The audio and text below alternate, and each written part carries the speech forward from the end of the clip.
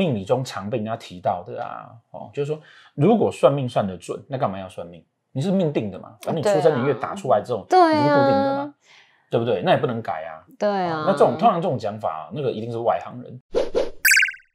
Hello，大家好，我是周易王小凡，我大根，大根老师。嗯是有些人说，算命师如果他算别人算的这么准，嗯那他自己算自己准吗？那如果他自己算自己这么准，他的人生是不是就一帆风顺了？算自己算不准哈，算别人算得准这件事情哈，对从头到尾我觉得就觉得是个笑话。你想想看啊，如果有一天我不是命理老师，对我去当减肥医生，我一定会没有生意，对，有点没说服力了。对不对？嗯哦，然后第二种讲法就是啊，其实它这个延伸延伸的概念就是，当命理师哈，嗯，不可以赚钱，赚钱的呢那是不对的，他就不会准，我觉得这有很大的问题。对，这很大的问题。因为大家都是付出劳力，而且命理师的前期的培养其实花非常多时间跟成本。例如说，我来上课也是要花很多钱的，花很多时间、成本、心力，而且你去解别人的盘的时候要花很多脑力，好吗？超级烧脑。回过头来讲哦，所谓的命理是算自己算不准这件事情我可以跟你说，绝大多数的原因都是因为它本来就不准，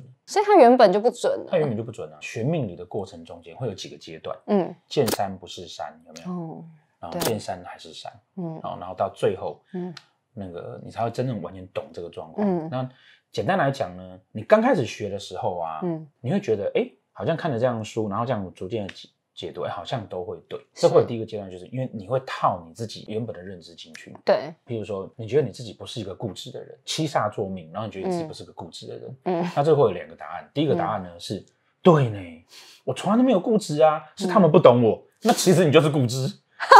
那第二个呢，你也会觉得，对我好像有点攻击。所以我们在刚开始初学的时候，容易碰到一个问，第一个问题就是说啊，大家会各自对号入座。第二个阶段呢，你就开始发现说啊，你会排除掉你自己觉得不好的部分。到这个阶段呢、啊，很多人都已经觉得，哎，我已经很厉害了，然后他开始当老师了。嗯但是他就慢慢慢慢发现说，哎，他总是自己算起来不太准，所以他觉得他自己算自己是不准的。然后他算别人呢，反正呢有准的回来跟他讲，他也觉得他自己是准的，所以完全是一个自我的催眠，你知道吗？哦，是这样子。对，那为什么是这个样子？因为人本来就是跟着自己的个性在推动。命理中常被人家提到的啊，哦，就是说，如果算命算得准，那干嘛要算命？你是命定的嘛，反正你出生年月打出来这种，对啊你是固定的嘛，对不对？那也不能改啊。对啊，那这种通常这种讲法，那个一定是外行人。你刚刚问的那种，就是他他其实就是学到一个很皮毛的阶段，对然后他就出去开业了。哦，那他就会这样子讲，因为他用来去解释跟弥补说他为什么没有把自己算好嘛。那实际上的情况是啊，这张地图上面呢，老天给了我们很多条路，它都是固定的，这个叫做命定。老天给了你一个个性，这个是命定的。。对可是你的个性通常会选这十条路其中一条，那这是命定的。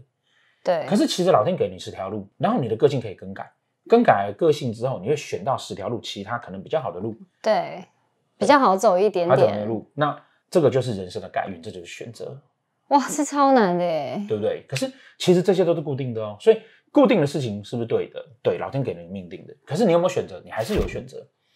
但是绝大多数人通常都只停在这一段。命理师其实也是，所以我们常常讲说，命理师的最大的重点是要理性。因为我们上课是常讲，对啊，吃药没有好坏，性，对对，对要理性对，对不对？因为当你不理性的时候，你就会沦落进去自己的性格里面，没错。